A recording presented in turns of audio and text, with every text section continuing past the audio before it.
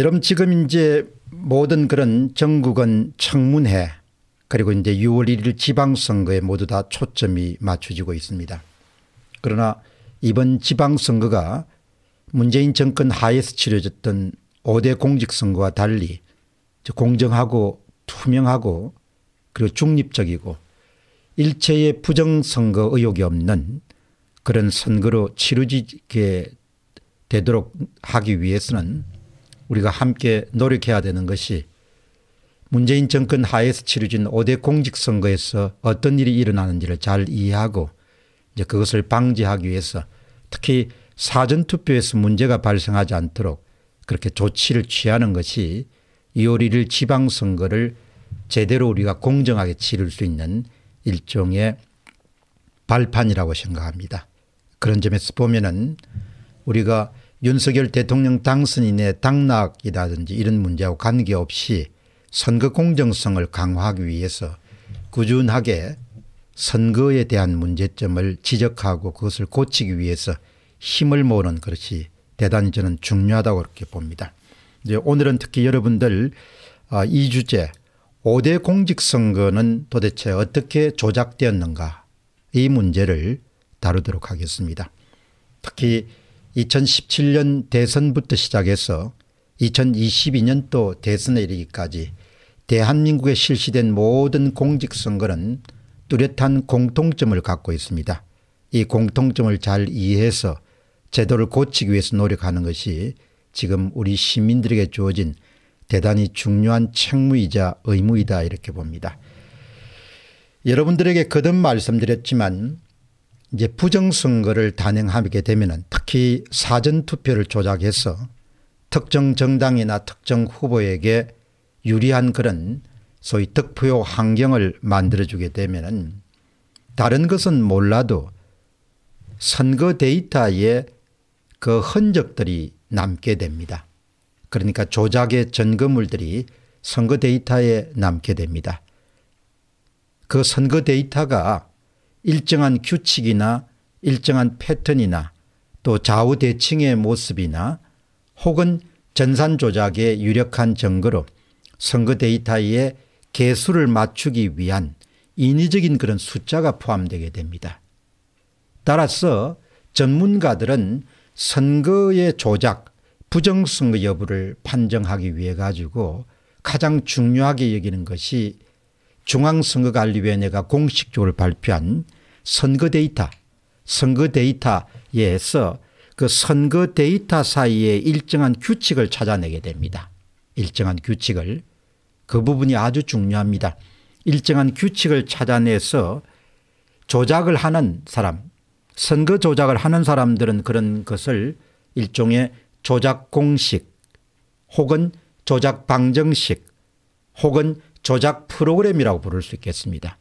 그러나 저희들처럼 조작을 한 행위 자체를 발견하기 위해서 그런 범죄자들을 찾아내기 위해서 노력하는 사람들은 조작 프로그램을 다르게 부를 수 있겠습니다. 그것을 추적 프로그램이다 이렇게 볼 수 있겠습니다.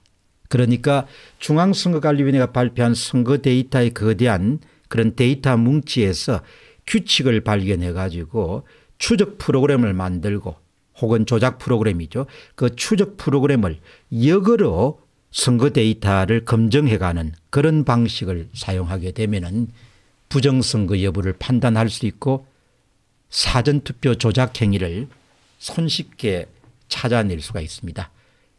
저는 어제 서울과 대구를 중심으로 해서 그 문제를 또 서울시 교육감 2018년 서울시장 이런 문제를 다뤘습니다. 이제 오늘은 이 소위 2018년 지방선거를 분석하는 그 행위 자체가 바로 문재인 정권 하에서 치러졌던 5대 공직선거 전부에 다 적용될 수 있기 때문에 바로 2018년 지방선거를 검증하는 것 그것은 곧바로 5대 공직선거를 검증하는 것이다. 이렇게 여러분들이 이해하시면 좋겠습니다. 모든 것은 의심에서부터 출발합니다. 우리는 지난 5년 문재인 정권 하에서 치러진 모든 공직선거를 의심하는 겁니다. 그 선거 결과에 대해서 의혹을 품고 있는 겁니다. 소위 선거 결과에 대해서 선거 결과가 참 잘못됐다 이렇게 의심과 의혹을 갖게 됩니다. 그리고 우리는 의심할 만한 충분한 증거를 갖고 있습니다. 이 부분이 아주 중요합니다. 그냥 의심하는 것이 아니고 만한 충분한 증거를 갖고 있다. 그 증거는 바로 공식 데이터가 증거가 될 수 있습니다. 특정 후보의 사전투표 득표율 빼기 당일 투표 득표율입니다. 당일 투표에서도 조작행위가 있었을 가능성이 있지만 그 규모는 아주 작습니다. 그렇기 때문에 당일 투표 득표율이 정상적인 선거 결과에 근접한다 이렇게 가정하게 되면 이론적으로 보면 사전투표 득표율과 후보별 당일 투표 득표율은 근사해야 됩니다. 0에서부터 최대 3%를 넘기가 힘듭니다.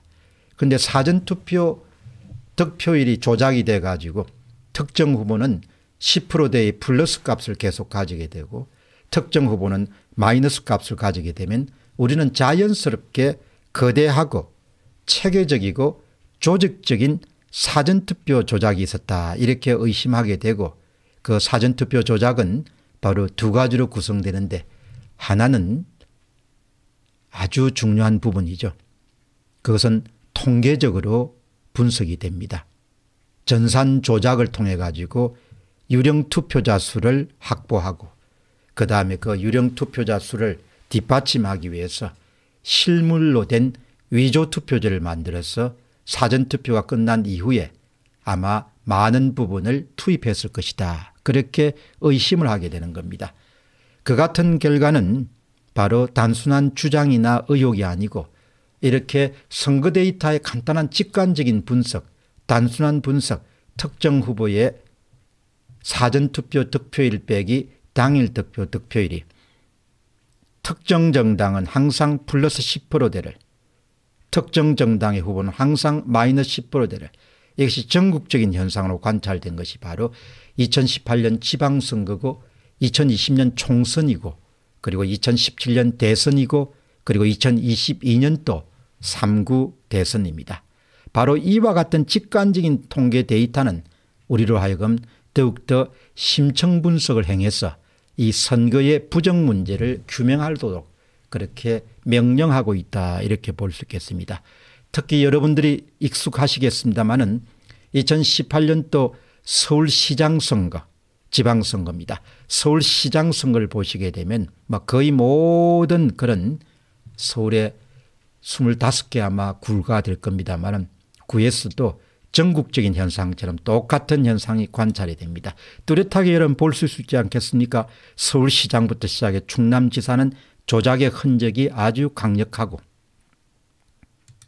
그리고 여기에 전남 광주 광주 광역시 전북 전남 제주는 조작의 흔적이 거의 없습니다. 뚜렷하게 조작 지역 그리고 조작이 이루어지지 않은 지역으로 우리가 나누짐을 확인할 수 있습니다. 오늘은 이것에 대한 대단히 구체적인 이야기들을 여러분들은 들을 수 있는 그런 기회를 가질 수가 있을 것입니다. 이런 밑에도 마찬가지입니다. 서울시장도 뭐 이런 결과가 나오기가 힘들죠. 이것은 바로 예, 그런 사전투표에 대한 대규모의 조직적인 그런 소위 조작행위가 있었기 때문에 이처럼 특정 정당의 후보는 항상 플러스 10% 이상을 또 특정 정당의 후보는 항상 마이너스 10%를 기록한다. 2017년부터 본격적으로 관찰된 이 같은 현상이 지금 조금도 해소되지가 않고 조금도 고쳐지지가 않았습니다. 그렇기 때문에 2022년도 3구 대선에서도 전국적으로 꼭 같은 그런 모습이 나타나고 있습니다. 국민의힘의 윤석열 후보는 항상 사전투표 득표율에서 마이너스대를 기록하고 있습니다. 전국에서 그리고 이재명 후보는 플러스대를 기록하고 있습니다. 거듭 말씀드린 바와 같이 3구 대선에서는 조작을 행하지 않은 지역이 없습니다. 전남, 전북, 광주도 조작이 됐습니다. 그렇기 때문에 이와 같은 좌우 대칭의 그런 소위 사전투표 득표율 빼기 당일 득표 득표율이 나오게 되면 우리는 당장 의심하게 되는 것입니다. 아 사전투표 조작을 심하게 해가지고 이렇게 좌우 대칭의 인위적인 그런 어, 선거 데이터를 만들어냈구나. 똑같은 일이 여러분들 또 어디에서 일어났습니까? 이것은 바로 하위 단위로 내려가면 종로구에서도 똑 마찬가지입니다. 이런 그래프들은 나올 수가 없습니다. 그렇기 때문에 이런 부분에 대해서 좀 조회가 있고 관련 지식을 갖고 있는 사람들은 이것을 묵과할 수가 없는 겁니다. 어떻게 2017년에 생긴 그런 사건을 수선하지 않고 무관심하게 대해 가지고 2020년 3구 대선까지 반복이 되고 그리고 여기서 그치지 않고 이제 앞으로 6일 지방선거까지 걱정해야 되는 이런 상황이 도달하게 됐습니다. 자, 그래서 이제 오늘 여러분들에게 말씀드리고 싶은 것은 조금 전에 방송을 시작하기 전에 한 분을 보니까 조작 프로그램이 뭐 조작 프로그램에 대해서 말도 하지 않고 그냥 이야기를 하냐 이렇게 하는데 사람이 뭔가가 있더라도 그것을 아, 알아야겠다는 그런 의지를 가질 수 있을 때 아는 겁니다. 세상에 아무리 좋은 검은 보화가 있더라도 그것이 검은 보화가 소중한 것이다 그렇게 의미를 부여할 때 비로소 검은 보화가 자신에게 좋은 것이지 그게 의미를 부여하지 않으면 방송을 이렇게 이렇게 많이 내보내면은 본인이 아 선거 문제에 대해서 한번 알아야겠다 이렇게 의지를 가지고 방송을 봐야 알 수가 있는 것이죠. 이런 그래프를 보더라도 아무 의미를 부여할 수 없으면 그냥 돼지가 그냥 진주대하는 것과 똑같은 겁니다. 이런 것을 보고 왜 그럴까? 어, 이상하다. 한번 들어봐야겠다. 이렇게 하는 것이 시민의 책무죠. 민주주의 체제를 유지할 수 있는 그런 시민의 책무가 3구 대선에서 이런 턱없는 결과가 왜 전국적인 차원에서 나오느냐 이런 부분들에 대해서 궁금함을 갖고 알려고 하는 의지 알려고 하는 그런 태도를 가질 수 있을 때 우리가 바로 부정선거 문제를 해결하는데 시민의 힘을 더할 수 있지 않겠느냐 그렇게 생각이 됩니다.